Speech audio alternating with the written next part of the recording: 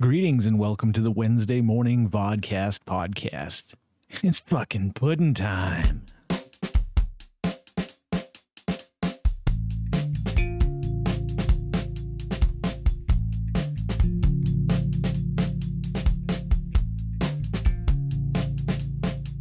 Let's raise one up to God. Praise Jeebus.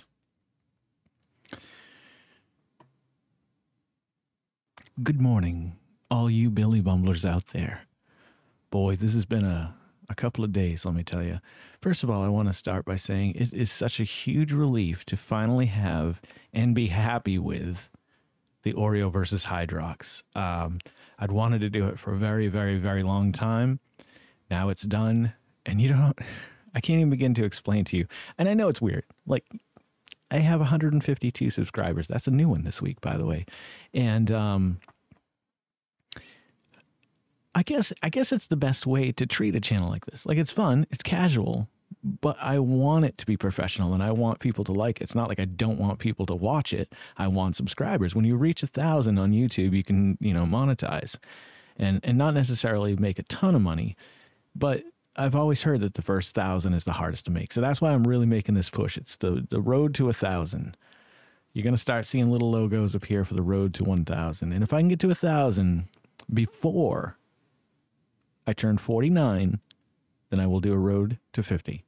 Otherwise, I'm not doing a road to 50. So it's all on you guys. Get out there and share this thing. And if, if we get to a thousand, then we'll see a road to 50. Can you believe we're even talking about that yet? I mean, I just turned 46, so we I'd like to believe we've got a long, long ways to go. It's funny when I look at houses, which I do a lot online, uh, and I see a house built in 75. I'm like, holy shit, that house is new. I, honestly, I feel like this house that we live in now was built in 51 and we moved here. I really felt like it was new. we came from a house that was nearly 200 years old and shit was falling apart. This is scatterbrain episode because I can't focus right now. But I really wanted to sit and talk because I don't know if I'm going to have another opportunity today because I have a lot of you know, day to day stuff that has to get done. I did get my Lynchburg Does work done, which is a huge step. As soon as I get that, I was so far behind on doing the archival stuff. Not like you care about this, and, and I don't blame you. So when I sat here and I thought about what I wanted to talk about this morning, um, I knew I wanted to do a Let's Get Racist episode later this afternoon, but I don't really have enough information to put together an episode, and I don't want to keep them so few and far between that people grow disinterested in it. Um, it seems like that has been the most popular videos that I put out. I'm still getting comments and, and messages about the um, the CRI genetics DNA test. I'll, I'll put it up in the card over here. I figure uh, that maybe that's a good one to focus on, and and maybe it's the best series to focus on. But what I wanted to touch on today is uh, last time we left our faithful hero Jason Oliveira, he was making a phone call and don't get excited. I haven't received any phone call back. I, I, honestly, I didn't expect to. Not that, not that they don't care. Maybe they don't know, or maybe they think I'm just looking for money. I know a lot of people do that, um, but we have taken another step.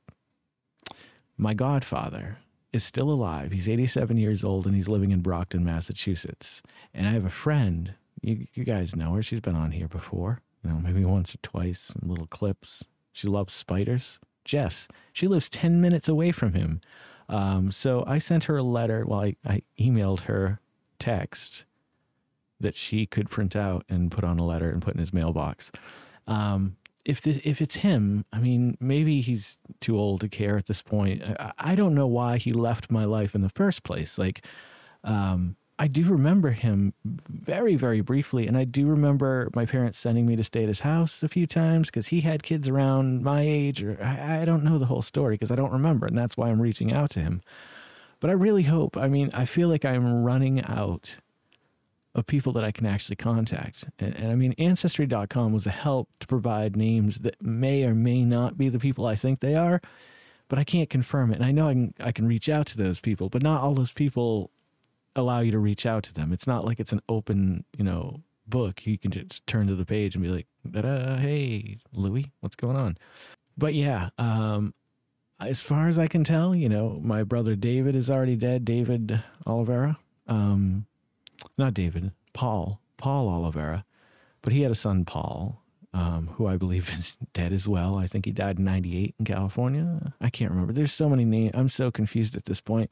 I'm not going to drag on about it, but I just wanted to give you guys that little heads up. Like, I have his address, I have his phone number, and I, you know, at least my godfather is still within reach. Hopefully, he takes the effort to reach out back to me because otherwise, I don't know where I'm going to turn next. I don't know that it even matters. But now it's it's it's really got me you know, it's got I, I've got my like detective hat on now. I always wanted to be like I would have been a police officer if I could skip the whole bullshit street cop thing. Like I always wanted to I always felt like I had an eye for things like that. Like I don't know. I've never done one of those rooms, but I feel like I'd be really good at them. Like I don't know. I guess it's the years and years of playing Dungeons and Dragons and having to write riddles and, and mysteries and puzzles that it kind of puts you in in the shoes of another person, uh, or not another person, I don't want to say another position. Like you get to be the criminal and the hero. You get to be the king and the warlord. You know, there's always both sides. And, and when you're writing like that, you need to be inside the heads of both of those people. So you kind of learn to to kind of go outside your comfort zone a lot more, I think. So you guys should all become dungeon masters. I will give my lessons for $300 a lesson and that's 15 minute lessons. So, you know, God, everything hurts and I'm dying. Something's right here. Every now and again, it's right here. What time is it? Who are you people? Where am I? It, it's every morning, like when I get up, like right here, it just burns like not I guess it's heartburn. I don't know, but I don't know why it's water that does it. All I do is drink water in the morning. I usually don't eat until I don't know, one, two o'clock maybe, and then I might eat supper, a light supper. I've whittled down my need for sleep and the amount of food my body needs. Maybe that's why I'm in pain and dying. I don't know. So speaking of Oreos, um, Rick, uh, the gentleman, my friend who sent me the um, the Hydrox cookies, asked me a question. I thought it, it provoked I thought it provoked a reason to film another review for the Hydrox Oreo thing. Uh, it wouldn't be as in depth as the other one, but he said, "Do you think by the time you get through the six packages of Hydrox cookies, which that's a lot of fucking cookies, man, um, you're gonna like them as much as you did during the review?" And I said, "You know what? Maybe in a month I'll do another review and see if they're just as delicious or not." So if you guys would be interested in seeing that, let me know in the comments below. Below me. Below me. The comments below me. I think I'm gonna have my son do I think I'm going to have my son Griffin do the carrot cake Oreo comparison with me. I can I can see it in him. He's got the spark he wants to just unleash, but it's it, it is a little nerve wracking at first. People people come up to me and they're like, I can't believe you can do that. I can't believe you can do that and sit and talk. And I'm like, I was born to do this. I was made for this. Um, sitting and talking is my favorite thing now. If I could, you know, drink coffee, then I would drink a coffee as well. But maybe I should just start drinking black coffee. I have a few packages coming today um, that I, one of them in particular, I think you guys will find of interest. It has something to do with the new show that I'm working on, uh, the new podcast with my friend Frank and Corey. It's called High from Space.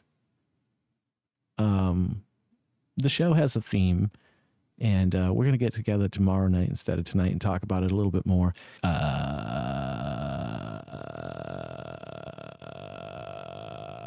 we've got a real game plan in mind now. Um, and I'm still shooting for June uh, to have some stuff in the can at least that we can actually edit and put out. But um, it's one of those things where we're probably going to hold back a little bit so that we can have a small catalog before we release it. Maybe even do the whole first season and then you know release them once once a week or something like that. Yeah. What is going on here? Well, I'm going to let you guys go for the morning, and there'll be a good chance that I'll be back with something later this afternoon, whether it be an or the carrot cake comparison. Um, and Grayson, of course, is more than welcome to come in on that too. But if you guys are loving watching and listening to these as much as I'm loving making them, please consider liking, commenting, subscribing, sharing, and hit the little bell icon. It'll let you know every time I put out a new video. Did I mention sharing the video? I'd really like to get to a thousand, and I could use the help. So if anybody, anybody's listening, anybody, share this with a loved one if you enjoyed it. Maybe not this one. Look at another video. Go back to the CRI genetics one. That's a great one to share. It's it's informative. It's shocking. Well, you guys take care of each other out there, and don't forget to make somebody smile today. I'm Jason Oliveira, and I'll catch you guys in the next episode of the Vodkast Podcast.